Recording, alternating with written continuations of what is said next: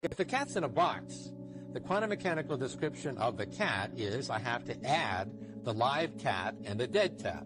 The cat is neither alive nor dead.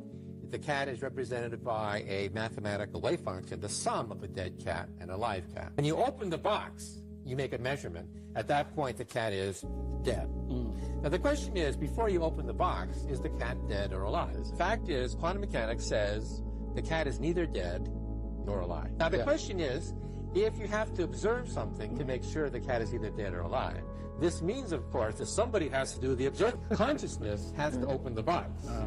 Now, the question is, therefore, yeah. was there consciousness before humans? Yeah. The answer to this cosmic puzzle is nobody knows the answer. But actually, this has been tested experimentally. We have atoms. Atoms like cats that are neither dead nor alive. Mm-hmm. And before you look at the atom, you cannot tell whether they're dead or alive, whether they have decayed or whether they're still there or not. Yeah. Okay.